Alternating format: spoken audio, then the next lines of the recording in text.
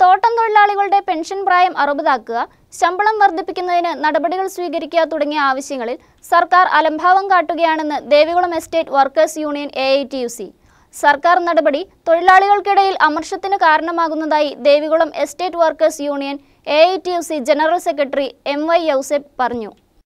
തോട്ടം തൊഴിലാളികളുടെ ശമ്പളം വർദ്ധിപ്പിക്കുന്നതിനും അവരുടെ പെൻഷൻ പ്രായം അൻപത്തിയെട്ടിൽ നിന്ന് അറുപത് ആക്കണമെന്നുമുള്ള ആവശ്യങ്ങൾക്ക് വർഷങ്ങളുടെ പഴക്കമുണ്ട്. എൽ ഡി എഫ് സർക്കാർ അധികാരത്തിലെത്തിയപ്പോൾ ഇത്തരം പ്രശ്നങ്ങൾ പരിഹരിക്കാമെന്ന് തൊഴിലാളികൾക്ക് ഉറപ്പ് നൽകിയിരുന്നു. എന്നാൽ തൊഴിലാളികളുടെ പ്രശ്നങ്ങൾ പരിഹരിക്കുന്നതിന് സർക്കാർ നടപടിയെടുത്തിട്ടില്ല. ഇതിൽ തൊഴിലാളികൾക്കിടയിൽ അമർഷം രൂക്ഷമാണെന്ന് Devikulam estate workers union A general secretary M V Ouseph മൂന്നാറിൽ പറഞ്ഞു. പക്ഷെ അത് ഇതുവരെയും നടപ്പിലാക്കാൻ കേരള സർക്കാർ തയ്യാറായിട്ടില്ല. ഹൈക്കോടതിയിൽ കേസുണ്ടെന്നാണ് സർക്കാർ പറയുന്നത്. പക്ഷേ അതേപ്പറ്റി പി എൽ സിയിൽ ചർച്ച ചെയ്യാം ചർച്ച ചെയ്യാമെന്ന് പറഞ്ഞിട്ടും പ്രശ്നങ്ങൾ ഇതുവരെയും തീർന്നിട്ടില്ല.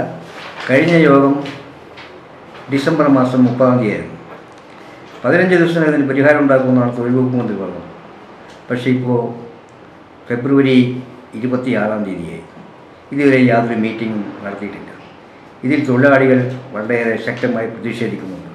ഈ റിട്ടയർമെന്റ് വയസ്സ് മാത്രമല്ല മഹാമാരിയായ കോവിഡ് മൂലം ബാധിച്ച തൊഴിലാളികൾ ഏകദേശം അഞ്ഞൂറിലധികം മൂന്നാറിൽ തന്നെയുണ്ട്.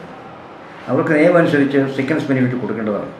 പക്ഷേ ഇതുവരെയും കൊടുത്തിട്ടില്ല. ഈ രണ്ട് കാര്യങ്ങളും പി എസ് സിയിൽ ചർച്ച ചെയ്തെങ്കിലും ഇതുവരെയും തീരാതെ കിടക്കുകയാണ്.